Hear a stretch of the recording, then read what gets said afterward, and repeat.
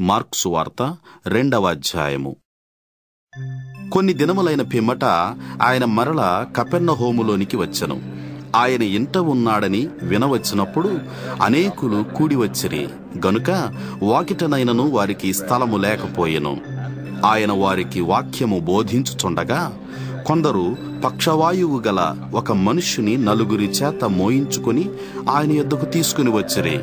చాలా మంది కూడి ఉన్నందున వారు ఆయన యొద్దకు చేరలేక ఆయన ఉన్న చోటికి పైగా ఇంటి కప్పు విప్పి సందు చేసి పక్షవాయువు గల వానిని పరుపుతోనే దింపిరి. యేసు వారి విశ్వాసమును చూచి కుమారుడా నీ పాపములు క్షమింపబడి ఉన్నవి అని పక్షవాయువు గల వానితో చెప్పెను. శాస్త్రులలో కొందరు అక్కడ కూర్చుండియుండిరి. వారు ఇతడు ఇట్లెందుకు చెప్పుచున్నాడు? దేవదూషణ చేయుచున్నాడు గదా. దేవుడొక్కడే తప్ప పాపములు క్షమింపగలవాడెవడు? అని తమ హృదయములలో ఆలోచించుకొనిరి. వారు తమలో తాము ఇలాగున ఆలోచించుకొనుట యేసు వెంటనే తన ఆత్మలో తెలుసుకుని మీరిలాంటి సంగతులు మీ హృదయములలో ఎందుకు ఆలోచించుకొనుచున్నారు? ఈ పక్షవాయువు గలవానితో నీ పాపములు క్షమింపబడి ఉన్నవని చెప్పుట సులభమా? నీవు లేచి నీ పరుపెత్తుకుని నడుమని చెప్పుట సులభమా? అయితే పాపములు క్షమించుటకు భూమి మీద మనిషి కుమారునికి అధికారము కలదని మీరు తెలుసుకొనవలెను. అని వారితో చెప్పి పక్షవాయువు గల వానిని చూచి నీవు లేచి నీ పరుపెత్తుకుని ఇంటికి పొమ్మని నీతో చెప్పుచున్నాను. అనెను. తక్షణమే వాడు లేచి పరుపెత్తుకుని వారందరి ఎదుట నడచిపోయెను. గనుక వారందరూ విభ్రాంతి నుండి మనమీలాంటి కార్యములను ఎన్నడూ చూడలేదు. అని చెప్పుకొనుచు దేవుని మహిమపరిచిరి. ఆయన సముద్ర తీరమున మరలా నడిచిపోవుచుండెను. జనులందరూ ఆయన యొద్దకు రాగా ఆయన వారికి బోధించెను. ఆయన మార్గమున వెళ్ళుచు సుంకపు మెట్టునొద్ద కూర్చున్న అల్ఫై కుమారుడగు లేవిని చూచి నన్ను వెంబడించుము. అని అతనితో చెప్పగా అతడు లేచి ఆయనను వెంబడించెను.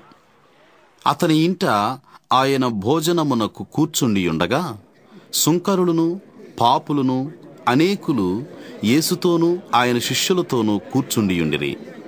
ఇట్టివారు అనేకులుండిరి. వారు ఆయనను వెంబడించువారైరి. పరిసయులలోనున్న శాస్త్రులు ఆయన సుంకరులతోనూ పాపులతోనూ భుజించుట చూచి ఆయన సుంకరులతోనూ పాపులతోనూ కలిసి భోజనం చేస్తున్నాడేమి? అని ఆయన శిష్యులను అడుగగా యేసు ఆ మాట విని రోగులకే గాని ఆరోగ్యము గల వారికి వైద్యుడక్కర్లేదు నేను పాపులనే పిలువ వచ్చి తిని గాని నీతిమంతులను పిలువ రాలేదు అని వారితో చెప్పెను. యోహాను శిష్యులను పరిసయులను ఉపవాసము చేయుట కద్దు. వారు వచ్చి యోహాను శిష్యులను పరిసయ్యుల శిష్యులను ఉపవాసము చేయుదురు గాని నీ శిష్యులు ఉపవాసము చేయరు. దీనికి హేతువేమి? అని ఆయన అడుగగా యేసు పెండ్లి కుమారుడు తమతో కూడా ఉన్న కాలమున పెండ్లి ఇంటి వారు ఉపవాసము చేయదగునా? పెండ్లి కుమారుడు తమతో కూడా ఉన్నంత కాలము ఉపవాసము చేయదగదు. గాని పెండ్లి కుమారుడు వారి యొద్ద నుండి కొనిపోబడి దినములు వచ్చును. ఆ దినములలోనే వారు ఉపవాసము చేతురు. ఎవడును పాత బట్టకు క్రొత్త గుడ్డ మాసిక వేయడు వేసిన ఎడల ఆ క్రొత్త మాసిక పాత బట్టను వెలతిపరచును. చినుగు మరి ఎక్కువగును. ఎవడును పాత తిత్తులలో క్రొత్త ద్రాక్షారసము పోయడు. పోసిన ఎడల ద్రాక్షారసము ఆ తిత్తులను పిగుల్చును. రసమును తిత్తులను చెడును. అయితే క్రొత్త ద్రాక్షారసము క్రొత్త తిత్తులలో పోయవలను. అని చెప్పెను.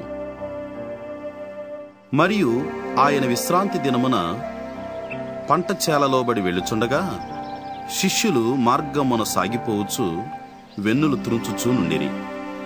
అందుకు పరిసయ్యులు చూడుము విశ్రాంతి దినమున చేయకూడనిది వారేలా చేయుచున్నారు? అని ఆయనను అడిగిరి. అందుకు ఆయన వారితో ఇట్లనెను. తానును తనతో కూడా నున్నవారును ఆకలిగొనినందున దావీదునకు అవసరము వచ్చినప్పుడు అతడు చేసినది మీరెన్నడూ చదవలేదా? అబ్యాతారు ప్రధాన యాజకుడే ఉండగా దేవమందిరములోనికి వెళ్ళి యాజకులే గాని ఇతరులు తినకూడని సముఖపు రొట్టెలు తాను తిని తనతో కూడా ఉన్నవారికిచ్చెను గదా? అని చెప్పెను. మరియు విశ్రాంతి దినము మనుషుల కొరకే నియమింపబడెను కాని మనుష్యులు విశ్రాంతి దినము కొరకు నియమింపబడలేదు. అందువలన మనుష్య కుమారుడు విశ్రాంతి దినమునకును ప్రభువై ఉన్నాడు. అని వారితో చెప్పెను.